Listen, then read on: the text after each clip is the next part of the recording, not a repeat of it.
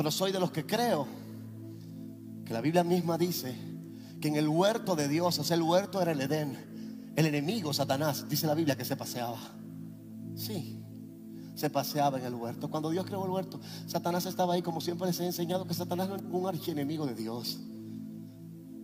¿Podría Dios tener un enemigo? Satanás es enemigo de Dios, pero Dios no es enemigo de Satanás. Eso es demasiado para Dios. Eh, mi enemigo Satanás. Cuando la Biblia habla acerca de Satanás como enemigo, dice el enemigo de sus almas. Es lo que no quiere que tú te salves. Pero ni siquiera es enemigo tuyo, porque tu enemigo fue vencido antes de tú caer en esta tierra.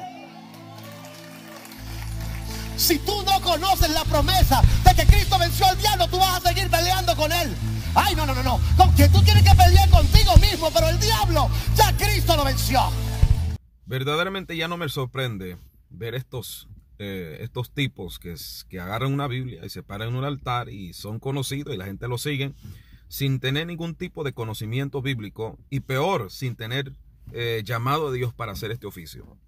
Porque si tú dices que Dios no es enemigo del diablo, entonces ¿qué es? Amigo del diablo.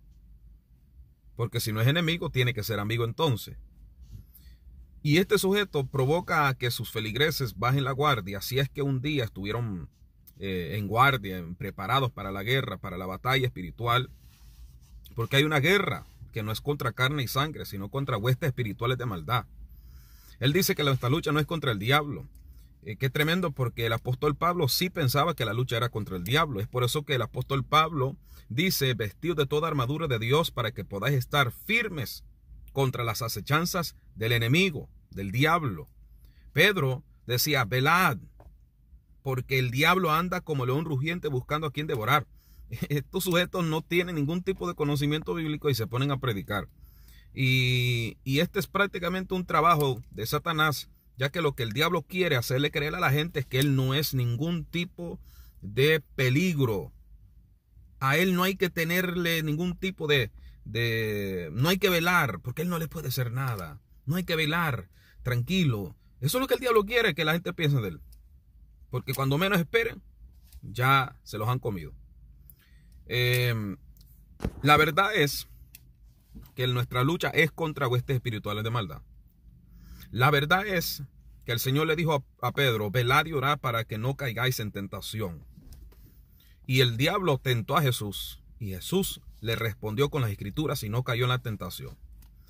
Em, la Biblia dice, eh, Jesucristo hablando le dijo a Pedro, Pedro, el diablo ha pedido para, para zarandearte como a trigo, pero yo he rogado para que tu fe no desmaye. ¿Verdad? Este, entonces, sí tenemos lucha contra el enemigo, contra el diablo.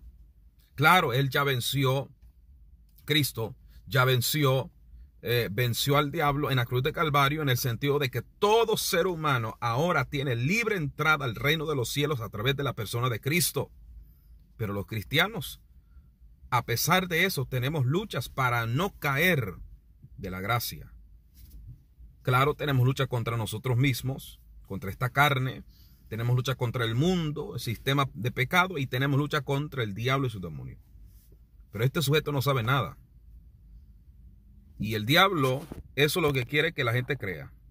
Que él no hace nada. Que él no hace nada. No, no, él no hace nada. Tranquilo, tranquilo, él no hace nada. Sigan pensando así. Y por pensar así, están como están. Todos revueltos con el mundo, ¿verdad?